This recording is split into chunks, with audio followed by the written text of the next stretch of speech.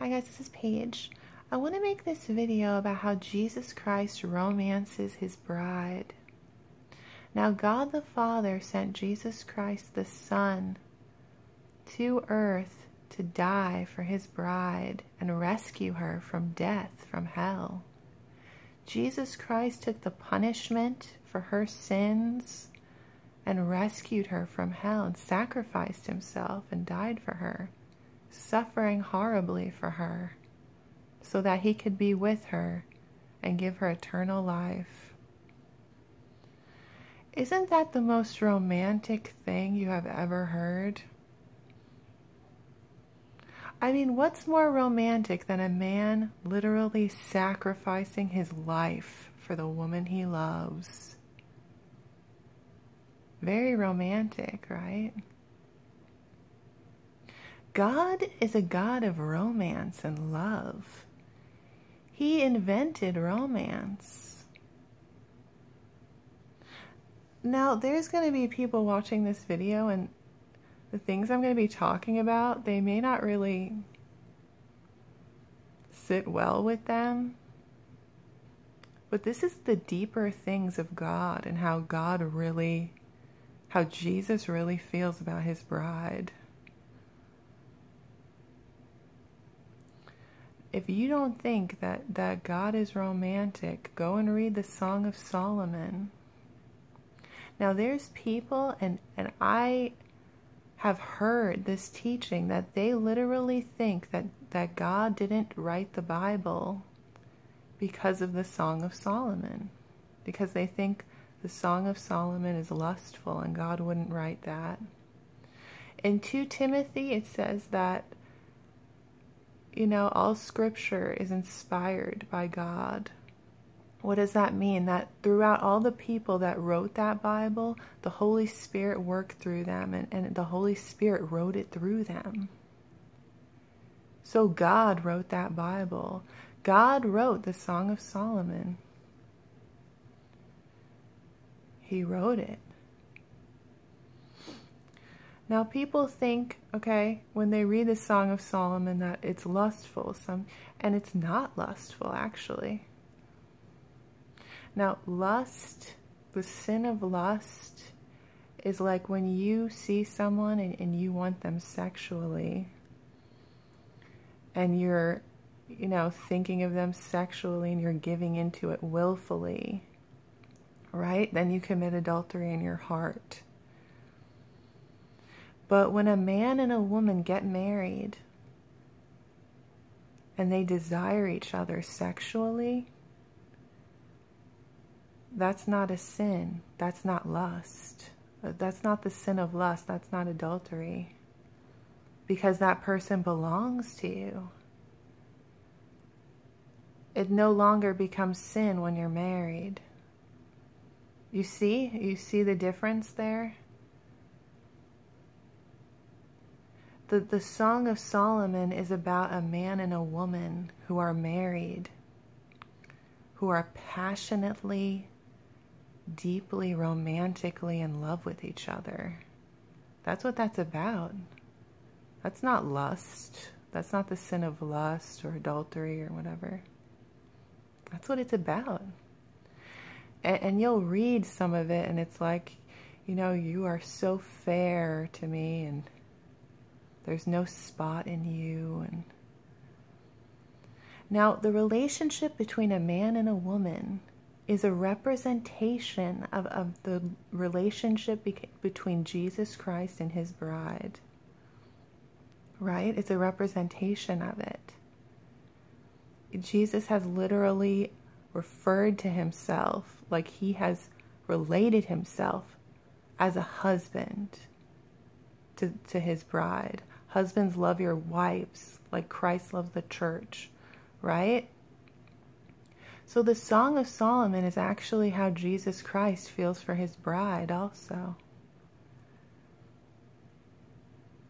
It's how he feels for his bride. Now, there's a difference here because when a man and a woman get married, they it becomes sexual, okay?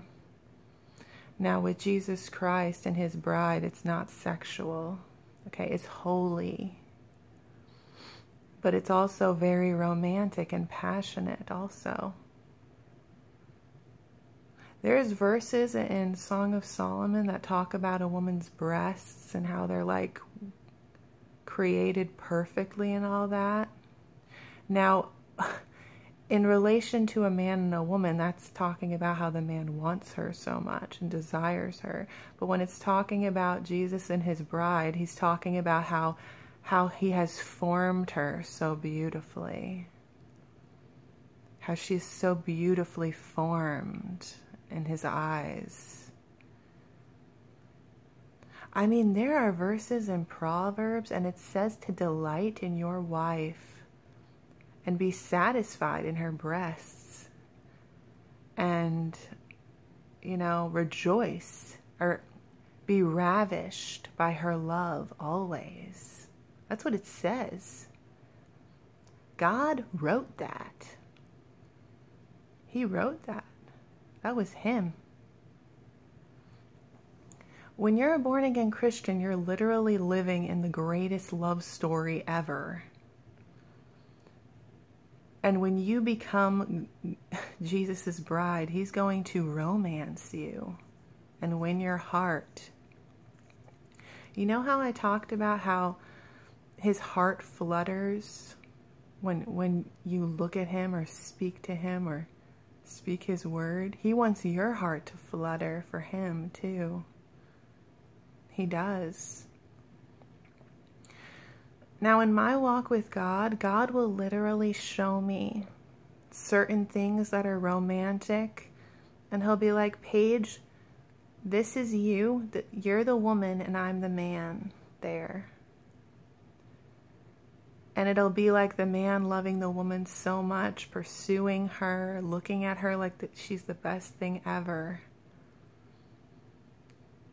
He'll show me things like that. It's romantic it's romantic. Now, it's kind of different if you're a woman. If you're a woman of God, it's kind of different because Jesus Christ is a man, and it's kind of like you have this romance with him. Throughout your journey with God, it's like you're in this love, romantic love relationship with him. That's what it's like. And women, at the core of themselves, God created them to be romantic, to want romantic love, and to like it. So women kind of feel like that, you know. Whereas men, I believe for men, it's more of a reverence thing. Don't get me wrong, women of God reverence Him. But with men, it's more of a reverence thing where they reverence God, like Jesus, and they're like very grateful for, for everything He's done and that sort of thing. But this is also for men. It says in the book of John that that there was a disciple who, who was laying on Jesus Christ's bosom and who Jesus loved greatly. And who was that disciple? That was John. He was literally laying on his bosom. And Jesus loved him greatly. If you think about that, a man laying on another man's bosom is kind of like, oh. But with Jesus, it's different.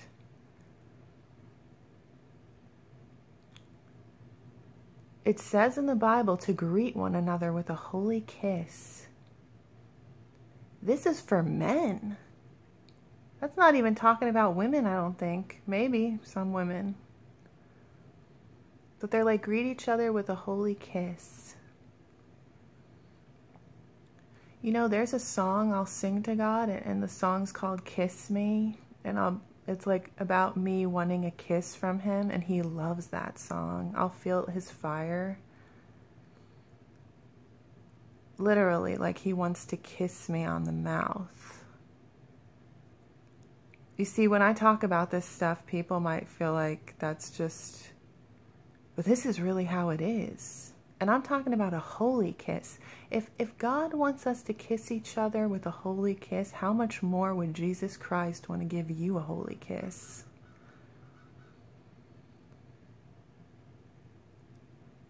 That's how it is. Jesus Christ, when you come to Him, He becomes everything to you. He's your father, He's your brother, he, He's your friend, He's the love of your life, and He's your maker. Literally, the, your maker, the one who has created you. Jesus Christ literally created you to, to, so he could ravish his love upon you and glorify himself through you and save you, rescue you, romance you. There are times where he would be showing me that, like between a man and a woman, and he'd be like, Paige, that's you, and I'm the man. And the way the man would look at her and like she was the best thing ever, I mean, it made my heart flutter. Like, I'd be like, my heart would be fluttering for God. This is the deeper things of God. It's an all consuming love romantic story on this journey. You know, it's a romantic story you're in.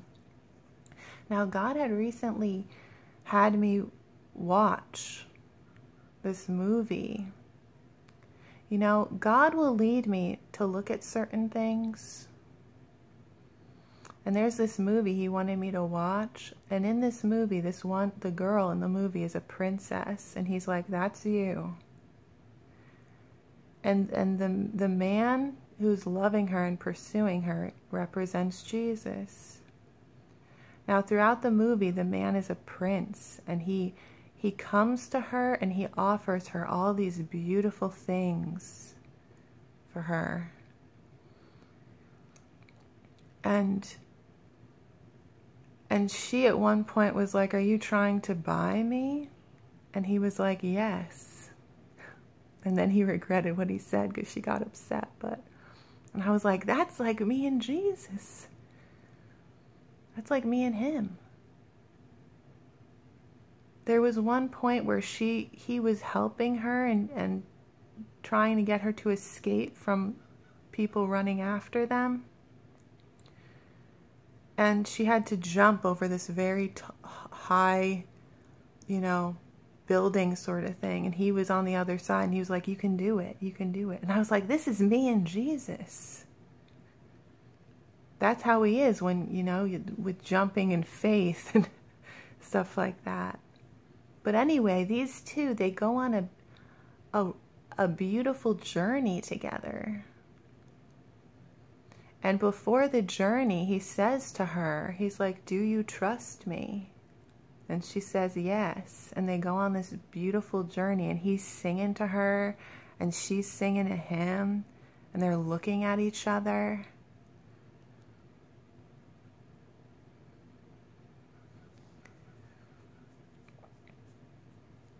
I mean, when God would show me these things, and He'd be like, You're that princess, and that's how I look at you. I'm singing over you, I'm singing to you. And you know what happened? Like in the end of the movie, the princess's father told her, he was like, "You you have shown I'm sorry, I want to go back."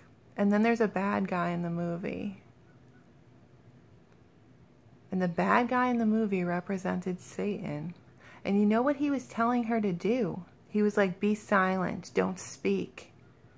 She literally sang a song in the movie about how she's going to not be silent. She's going to speak. And God was like, that's you. That's the devil trying to be, make you be quiet. And so she would speak, and in the end, basically, her father said, You've shown great courage and strength. And then he, he made her like a leader because of that. And I was like, God, this is you speaking to me. I couldn't believe it. I was like, I was so edified. God will speak through anything. He speaks through these things. Now, in my past, I had really idolized romance. You know, and God doesn't want me to idolize it, but romance in general is a representation of His love. Jesus' love for His bride. Now, there's things God will not want us to watch that are full of sin and stuff like that, but that's what He showed me. And when he shows me these things and how this these men are pursuing these women like they're the best thing ever, and that's how he feels for me, my heart flutters. It flutters for him.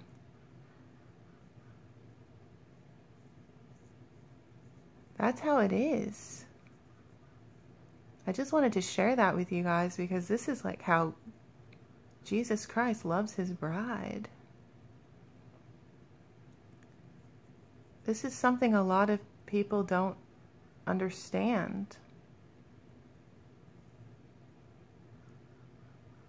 All right, I love you guys. Bye.